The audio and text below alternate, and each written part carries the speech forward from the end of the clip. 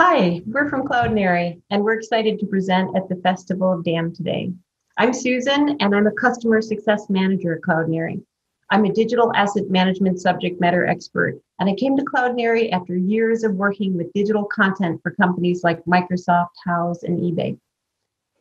And I'm Marissa. Um, I'm a technical marketer here at Cloudinary.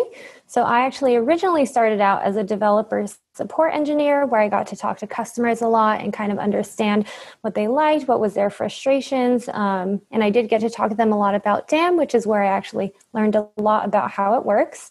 Um, and now I am on the marketing team, so I actually get to use um, DAM and practice it every day. Um, and that's how I really got to understand the benefits of it all and talk about it here with you, lovely audience today. Today, we're going to talk about the five cool things you never thought a DAM could do. In the digital asset management space, we've come such a long way in a short time. Here's just a short list of some of the exciting things you wouldn't expect to find in a digital DAM. First, media acceleration, also known as experience optimization. At Cloudinary, it's our core capability, the real differentiator, media acceleration. The next topic will be a single source of truth where you can take the original asset you uploaded and make infinite variations of because automation is everything.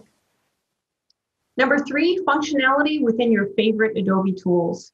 Combining the DAM with the tools you use most is critical to save time to make great content. Next, we'll be talking about embeddable widgets that give you access to your DAM content and capabilities in your CMS or product experiences. And so it will be widgets like upload widget, uh, media library widget, and media editing widget. And last, number five, a DAM can offer an array of add-ons that enhance your media. Add-ons like auto tagging, background removal, moderation, celebrity detection, and a lot of video enhancements.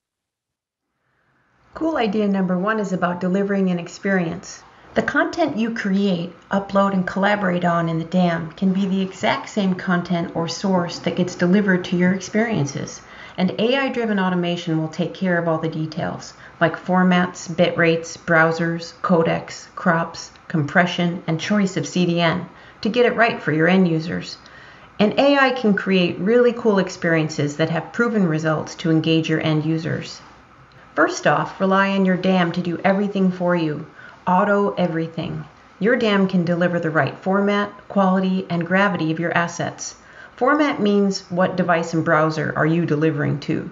Quality is this a banner or a thumbnail? Can we reduce the quality without compromising the visual outcome? Gravity means your end user should never get an image that has a bad crop. Here's an example where auto format and auto quality are combined. These two features work together to ensure every image gets encoded at the right quality, the right subsampling, and in the best available format, with no visible compression artifacts and no wasted bandwidth. The first image is 75 kilobytes in JPEG, and the delivered version is 62 kilobytes in WebP for Chrome. It may not seem like much, but if you have a page that is rich with many pieces of content, having it be lighter and load faster is super important. Next, count on automated gravity to find the most interesting part of an image or video. So no matter what aspect ratio you are delivering of your content, the crop will show the content you intended for your user. Responsive solutions. Upload once and deliver anywhere. With responsive solutions, upload one image to your DAM and know that you will never deliver an image to a web or mobile device that is larger than the target size. This saves you the time because now you don't have to create multiple crops of that content for an infinite amount of potential sizes and devices. Those were some basic capabilities that make your experiences richer, faster, and lighter. Here are some examples that make the ordinary experiences extraordinary. Let's start with user generated content. User generated content for images or video is complex. Since you need user upload, quality control, moderation, filtering, and then image and video enhancement consistency prior to publishing. Your DAM helps you do this at scale with automation. Your DAM can also help you adopt new trends with auto tagging of images and videos using AI, auto transcription, auto preview gen- generation, and auto playlist creation in an HTML, HTML5 video player. The DAM helps you launch campaigns and stories products faster. So let's talk templatizing variations using a single source of truth. So, what do I mean by that? So, in this situation, we're talking about transforming assets.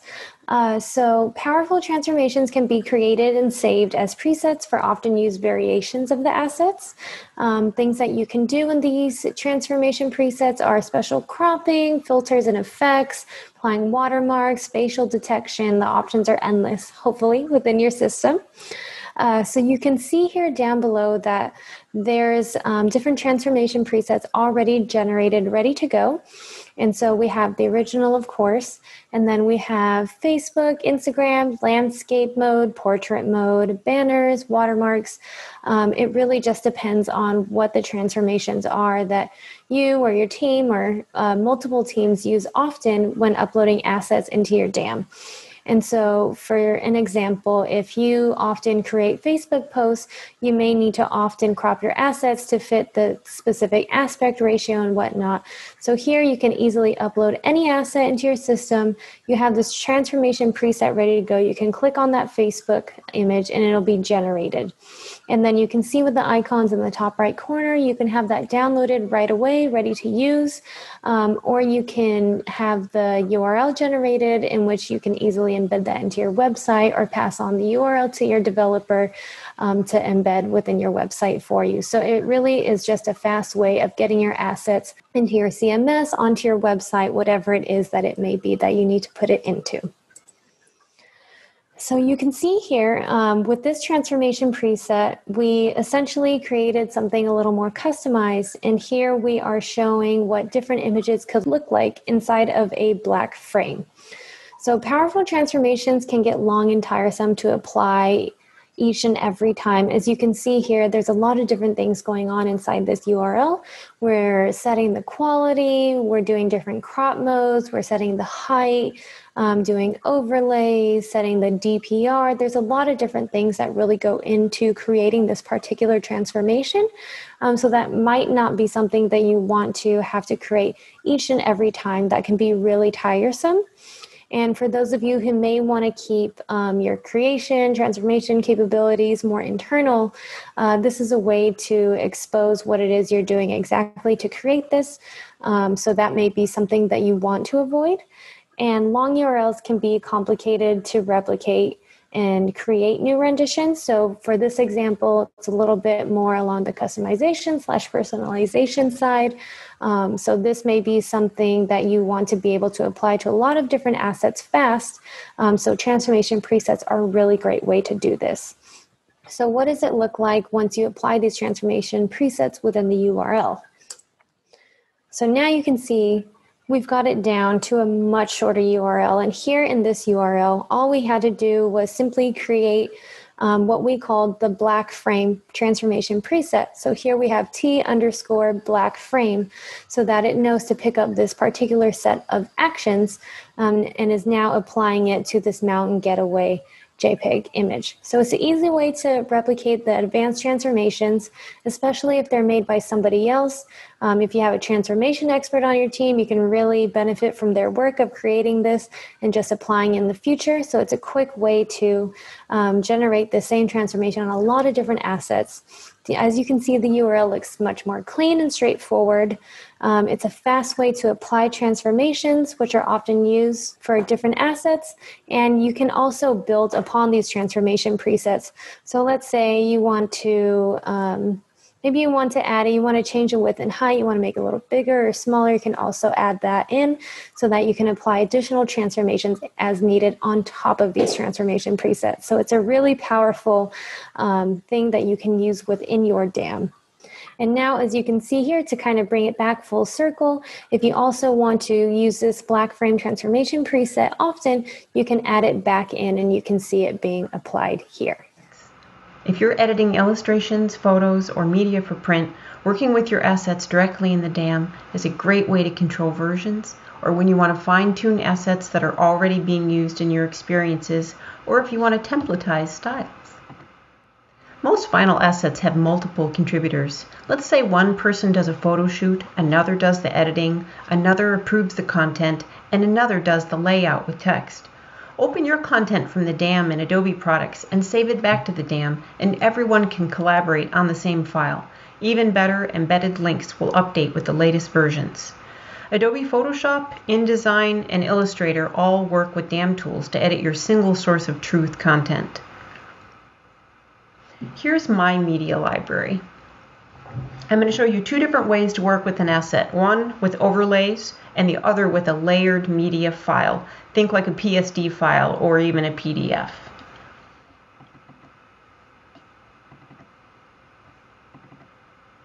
In this example, I have multiple different file types in my account. This is the original PSD file that has multiple layers. And I, in this example, I have a dog that has a lot of different hats on it. You can see I've broken out each one of those layers with transparency in my example here, so I can show you both different types. Now I have Photoshop open and I've opened up the Adobe connector to my media library. You can see that this is the exact same version of my media library that I'm connecting to. And I can go to the exact same file and work with those assets. So if I need to make edits to those assets, it's going to save, it's going to be able to be saved directly back to the DAM. And then if those assets are already being used somewhere, they will update.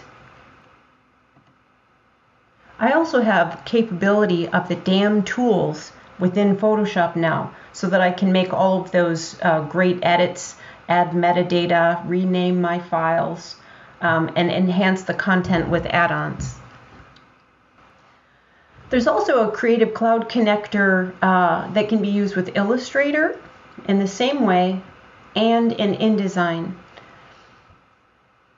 And another way that you can use Adobe tools in your URLs of your delivered assets is that you can take an asset from your DAM and you can apply an XMP file to it that will make uh, photo changes to your asset. Um, and you can apply that file, and I'll show you here, I'm referencing it in the URL right here.